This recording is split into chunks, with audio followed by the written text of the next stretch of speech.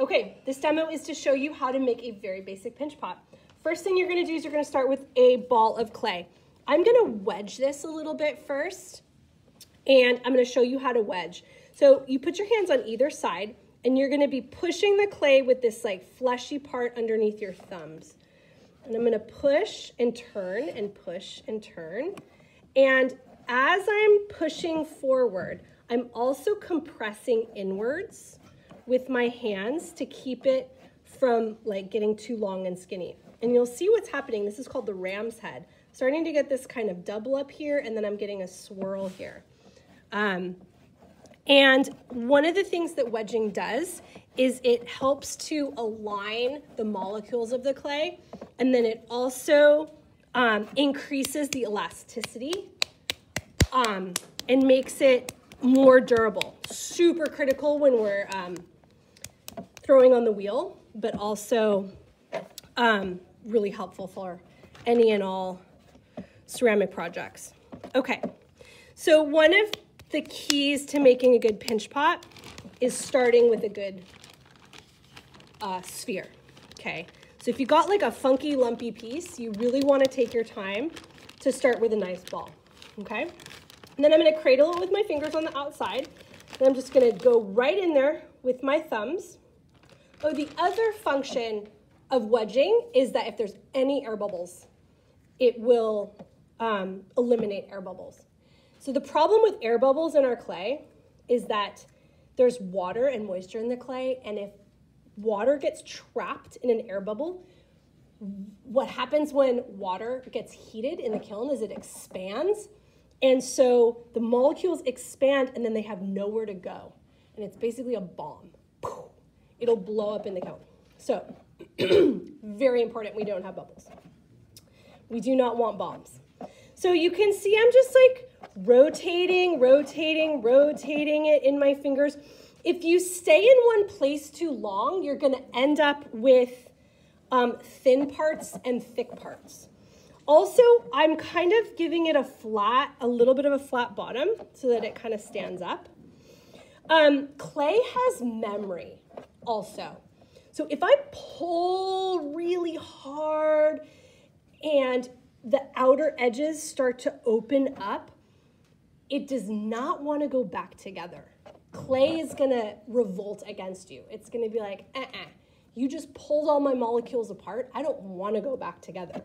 So you want to be mindful of not stretching it out too far too too fast because if it gets too thin, it will get floppy and start to kind of like warp and fall over. Okay, so remember lots of rotating and um,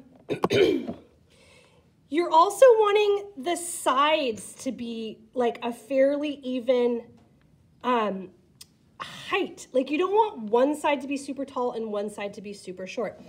You could flip it over and if you're wanting like a nice flat bottom here, and um, so it's it's also going, and this is true for all ceramics, it's going to be finding that perfect sweet spot between it not being too thick and not being too thin. If it's too thin, it'll be floppy, it'll fall over, it will um, warp and not want to go back to the shape that you want it to be.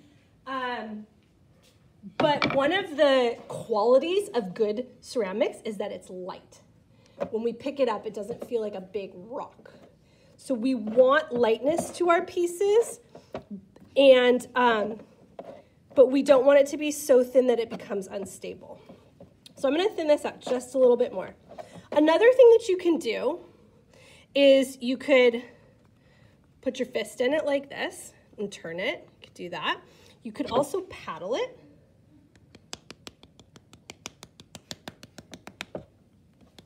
If you're wanting like some of the little fingerprints to disappear. And I actually love fingerprints. I feel like it gives it like a human quality, but some people are like, no, no fingerprints. I want it really nice and um, smooth on the outside. So you can you could try paddling, Also paddling, if you're wanting this top part to be flat, you could paddle it that way. And what you're gonna see is you're gonna start to see that this clay, and it's also, it's really hot out here, um, it's getting crackly, okay? So when it starts to get crackly, you're gonna want to put some water on it. And also think about the fact that mostly what people are gonna see is the inside, right? So you want the inside to look really good too. And just like not too much water because you don't want it to get too crazy. And if it gets mushy, it's going to flop also. But you want to pay attention to the inside too. Make it look good. My outside looks really good, but my inside could use some work. Okay, and then the last bit is to put on a foot, okay? And this part is so, so, so critical, you guys. This is going to, if you nail this right now, it will serve you so well throughout the rest of this class. When you attach things, you must attach them properly, okay? I think I talked about this a little bit with the handles. If I have slick clay and slick clay, even though it feels like, oh, that's sticky, it's sticking, it's not sticking. It will pop off as soon as the molecules start to shrink and it's gonna end up um, popping off, even if it feels like it's sticking at the time. Okay, so scoring, this is called scoring, absolutely critical. So I'm gonna um, get this all nice and rough. Okay, scoring it's a good little term for you. And then I'm gonna, I'm gonna use this um, coil. And again, in the demo file I have for you, there's a million different feet. It could be three little balls. It could be actual feet. So many different possibilities for how you can make a foot on this, but I'm just gonna show you a really basic one, okay? So I wanna measure and make sure it goes all the way around, not quite, almost. Notice how I'm stretching my fingers out here to get a nice even coil. It's getting a little skinny right there, but it's gonna be okay. And that's good. Okay, so I've got this scored and now I need to get this scored. So I'm gonna score this. Score, score, score, score, score. And sometimes, folks, Scoring is tedious, but if you don't do it, you will regret it. Okay, so little water. And then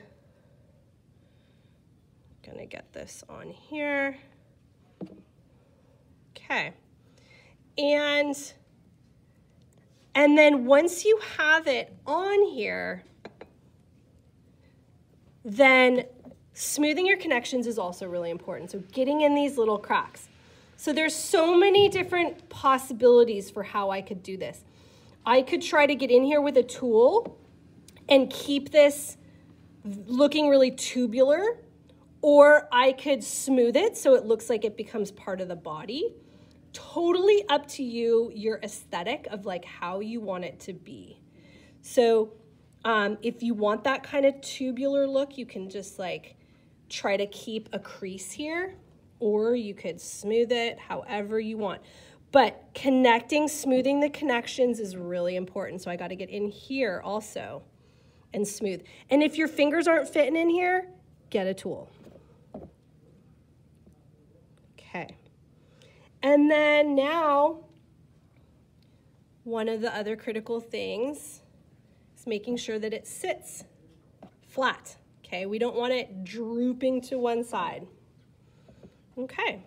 And you'll notice that this is a little bit mushy and when I flipped it upside down, it stuck to the table and kind of malformed a little bit. So you may want to actually let your foot dry upside down just a little bit before you flip it over because if the clay is really mushy, it will, and this is heavy and it's pushing down on this thin little bit, it will deform it. So um, you could also use the um, heat lamps over there if you wanting like a really quick um, setup for your, for your foot. Um, but just know that if you flip it over um, when it's really mushy, it'll, it'll deform. So watch out for that. And then you're gonna put your name and your period number or your initial stamp and your period number here. And then that's it.